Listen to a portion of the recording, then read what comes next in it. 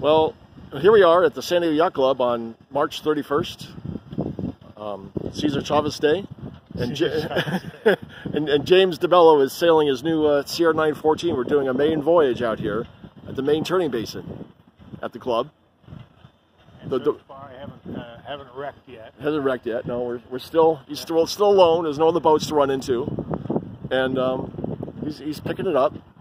Yeah, see the radio. This brings the sails in and out, Got and it. this this this one does the rudder. That's the rudder there. Okay. And he's he's he's picking it up. And this and now the trim is what I need. Okay. Yeah, the trim. It's uh, that's for the, the, the fine points of sailing. Okay. Here's a down all the way down is a close hauled pinching. Yeah. Then you let it up to find the uh, the quintessential setting, and all the way out is like footing or a little bit beyond footing. Does this do anything here? No, that that one does anything. This okay. this this does the left and right. Yeah. Of the rudder to turn the boat.